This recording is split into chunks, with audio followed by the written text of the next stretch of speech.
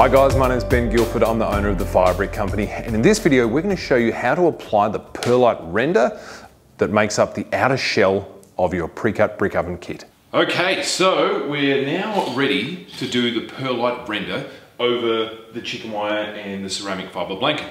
So the perlite render layer is basically there to give you a protective shell over the ceramic fiber blanket layer. Uh, and it's also giving you additional insulation over the oven. Uh, but remember, the predominant insulation is the ceramic fiber blanket. That's an incredible insulator. That's doing most of the insulating work, uh, but your perlite render does help as well. We really recommend that you tile around your oven before you do the render.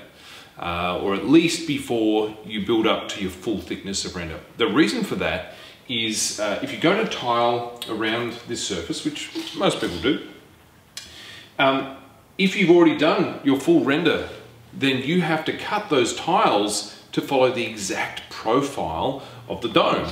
Whereas if you cut your tiles first and you lay them, you can actually tuck them in against the ceramic fiber blanket and then render down over the top of them. So you can actually cut the tiles quite roughly uh, and no one's ever going to know. Uh, they'll just be sitting nicely under the render and the render will come down onto those tiles and make it look like the tiles are cut perfectly. Uh, so that's our first suggestion. Now, if you are uh, in a real rush and for some reason you don't have time to tile the stand first before you do the render, then there is a trick that you can use to, to get away with that. What you can do is actually cut some plywood uh, to follow the profile of the ceramic fiber blanket.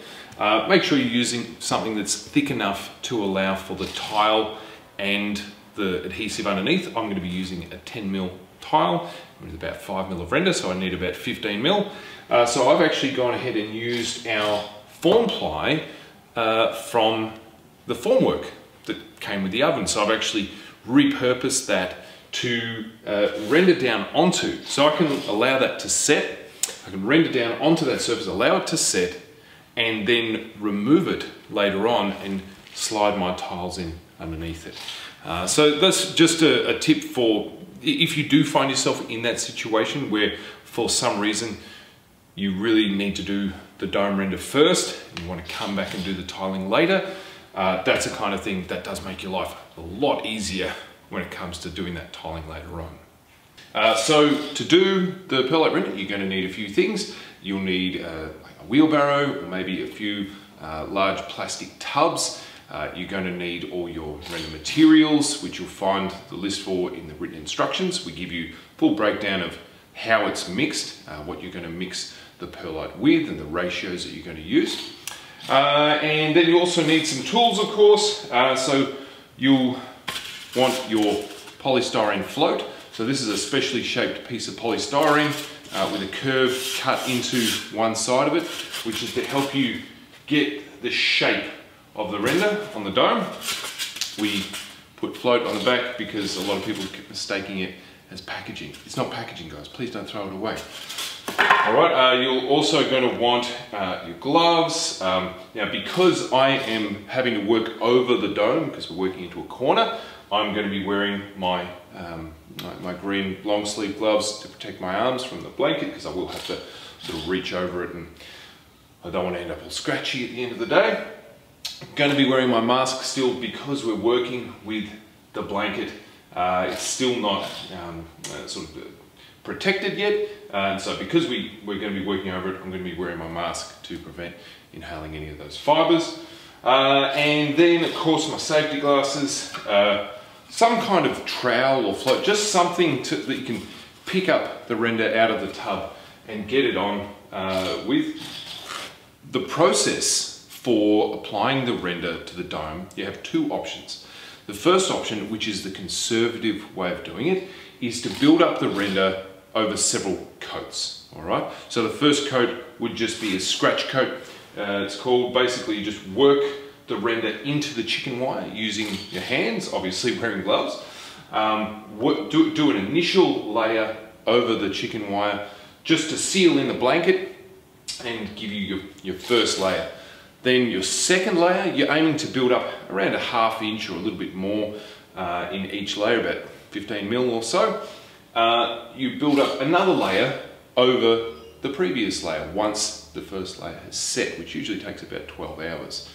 Okay, so you, once a day, you could come back and do another coat of render and build up your full thickness over several days. We, we usually recommend about 50 millimeters of perlite render. You can do a little less, you can do a little more if you want. There is excess perlite in your kit. Uh, we, we make sure that you have plenty of perlite in your kit so you're not going to run out. The other option, and this only applies if you've had experience with render, uh, we, we're finding we're getting a lot of professional landscapers, stonemasons, bricklayers, building our ovens for clients and for themselves. And a few of them said, oh, do, do I have to do it in layers? Technically, you don't. You can build it up in one thick layer. However, you need, you need to mix it with a mixing drill if you're going to do that because you need to mix it very thick and very sticky. Uh, and I really don't recommend it to anyone who's not 100% confident that they can do that, that they can build up the full 50 mil in one go. The reason I say that is when I built my very first oven, I thought, yeah, I'll just go for it. I'll, you know, how hard can it be? I'll just uh, render, you know, 50 mil in, in one go. And I mixed, my, my perlite render mix was a little bit wet and be putting it on and it was wanting to just slump off. Uh, because it was so thick and sort of heavy and it wasn't the right consistency and it was just falling off. And I nearly, I was nearly in tears. I, have, I was so frustrated. Uh, so I really recommend if you're not a pro, go with the, this, you know, the conservative method. Take your time and just enjoy it, um, rather than trying to, you know, um, do it all in one hit. Okay. Uh, so yeah, that's that's the the two options. Um, but I really just want to re-emphasize unless you're super confident and you've, you've done rendering before, just go with the conservative method and build it up over a few layers. Uh, some other things I want to talk about, temperature gauges. So you'll see we put our thermo well back in. Uh, so I just put a rod through from the inside because you may have noticed we covered it up with blanket and oh, where, where does it go? And so I just put a sharp rod through from the inside which created a hole for me. So that told me where it was and then I, I put it back in. Um, and I've just used a little bit of masking tape just to seal that hole so that nothing falls in there while I'm rendering because would be kind of difficult because of the angle that it's on, a little difficult to get it out again. Uh, now, if you're not using a thermo well, if you're just using the gauge, which is absolutely fine, uh, this is what we recommend doing. So I've wrapped the head of the gauge in Glad wrap and just use a little bit of masking tape around the back of it just to hold it all together. Uh, I would take this, I would actually grease the stem and a little bit of grease around here isn't going to hurt either. And then I'll put that in, snug it into the point that you want it and then bring the render in around it. And remember, you can always, if you, you could of course as well, put some render on and then push the gauge into that and sort of um, uh, wiggle it into that so you get a nice um, uh, you know pocket left behind because once it's all set uh, you can remove the gauge and uh, it won't bond because nothing will stick to the, the glad wrap uh, you can remove that take your glad wrap off and then you can put it back in and it'll just fit nicely back into that void we're going to make a start at the back uh, now if you're building into a corner firstly well done uh, for getting this far. It is a challenge when you're building it into a corner. Uh, it is a challenge worthy of the mightiest DIYer. Uh, so getting into that corner is a little bit of fun. I'm going to do that first. But remember, no one's ever going to see that. Like, people aren't going to crawl over the top of your oven to see kind of what kind of job you did on the render at the back. And if your friends do that, they're not good friends, right? Get some new friends. Uh, so I'm going to start at the back, and I'm not really too fussed about the finish that I get on the back. What I'm really concerned with is what you guys are going to see. I want to put real effort in to, uh, to, to the render that is going to be visible. So if you're working on a stand that you can get all the way around, hey, makes it so much easier. Um, but fear not, there are ways of, of getting everything done. The other thing you're probably thinking of is how on earth is he going to render the bit near the wall, right? Uh, and I've got a little trick for you to show you that.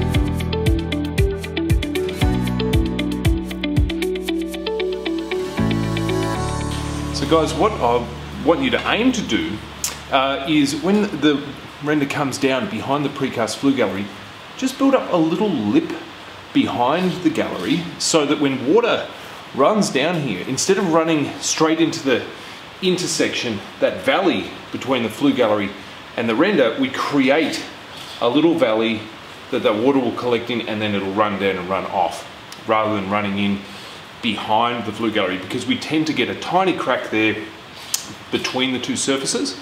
Uh, even, even with acrylic render coating those, we, sometimes find a little crack forming there. So just create a little valley here.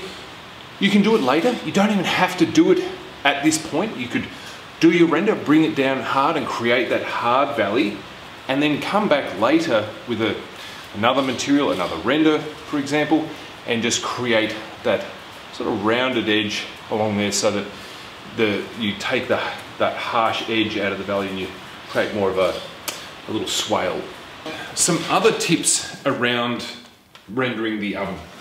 Regardless of which method you're using, the conservative method or the super fast, crazy professional method, uh, what I really recommend is allowing, particularly for that last layer, so your final layer over the dome, where you're trying to get that really nice round shape, use your your float. It's made to follow this, you know, the curve of the dome.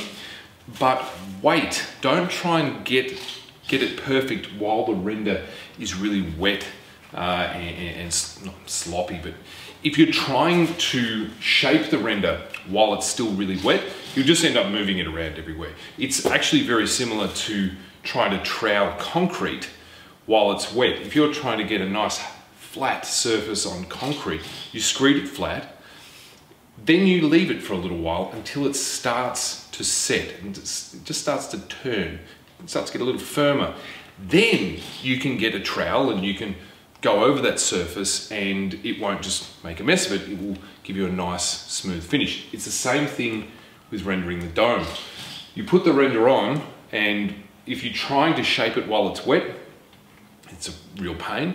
But if you let it just start to set just that little bit, and it's all about timing, so just waiting around, uh, being ready for, for when it starts to turn, you can just come back and like this, this is still a little wetter than I'd like. There's some areas that have started to firm up, particularly up top, and I can just get this and go over it.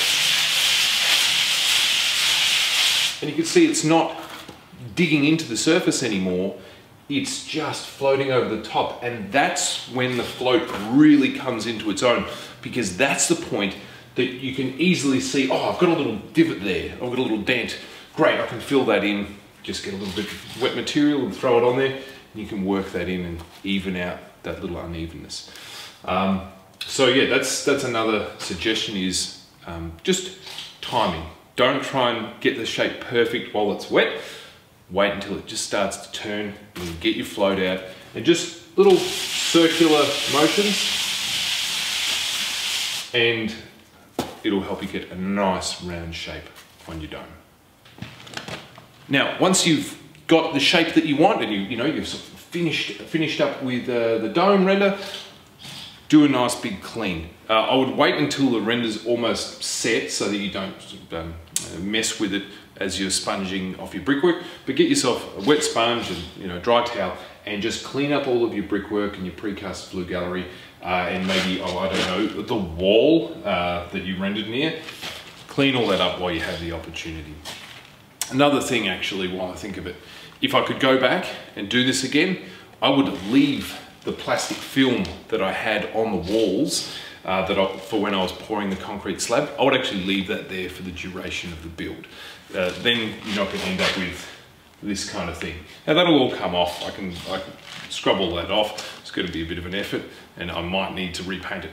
But if you have the opportunity, if, you, if you're building near a wall that you particularly like and you don't want to have to clean it later on, good idea to cover it with plastic while you're building. So our perlite's actually been drying now for uh, a week. It's been curing, which is great. And you recall we were talking about creating a valley in between the back of the flue gallery and the dome because imagine we're outside, you know, rain's hosing down and the water that, uh, the, that rainwater is going to run down the dome and then come down here. And if we don't have some kind of little valley here, then the, the water's going to want to try and work its way in between the, uh, the flue gallery and the render. I've seen people do all kinds of different things. I've seen people run high temp silicon around the back here, a whole range of, of different things. What we tried to do is actually create that valley using our perlite render.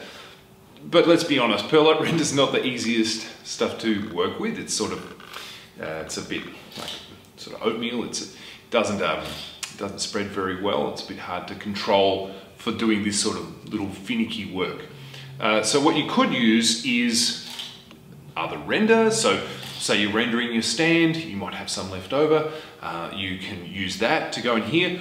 Uh, I've already got a little bit of a valley going there, but I could use some just to improve that valley uh, and, and you know, create the, that little dip that I'm after and I can chase that all the way around, which is what I'm going to do now. Be aware, the flue gallery back here, it might get to maybe 200 degrees Celsius. It's quite well insulated, this point back here. So uh, I'm not really too concerned about how the render is, is gonna, it'll, it'll handle that quite well. Um, and that'll give us that, that, just that little gutter to run the water off.